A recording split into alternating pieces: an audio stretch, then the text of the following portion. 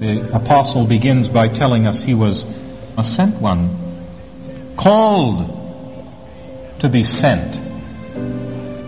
Now, when we normally call someone, we call them to come, don't we? He says, I've been called to go.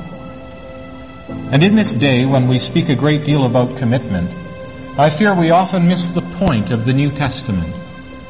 That it is not necessary for me to be committed to the work, for the work has already been committed to me. I don't have to sign myself in.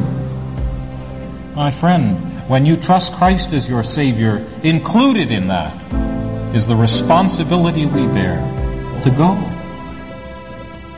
Oliver was a ungodly young man, and he noticed there was a, a man in his community who had changed drastically. And he went and asked him what had happened. And the man said, Well, why do you ask? He said, Well, I notice you don't whip your horses anymore. I wonder if some people could tell we got saved by the way we drive. Well, that was the case with this man, and ultimately he led this young fellow to the Lord. Oliver began to preach and uh, went to a town, Garnavillo, Iowa. They were preaching on the street and they were invited to the home of a woman who is in uh, the large church system that dominates that area. She invited them to her home for tea one afternoon, and when they got there, they found the minister of this church uh, waiting for them. So they got into a discussion, and uh, as a result, there was more heat than light, and uh, this fellow actually knocked the Bible out of Oliver's hand.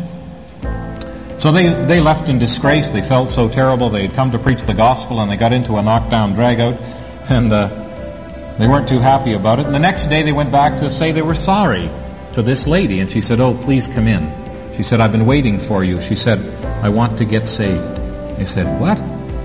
she said, I saw that our minister didn't have anything. He didn't have the truth.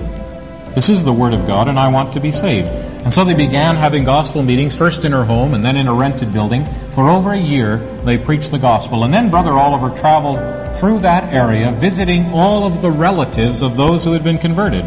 And so he reached out into that area, and with other helpers, uh, the Midwest, there are 42 listed assemblies in the state of Iowa today.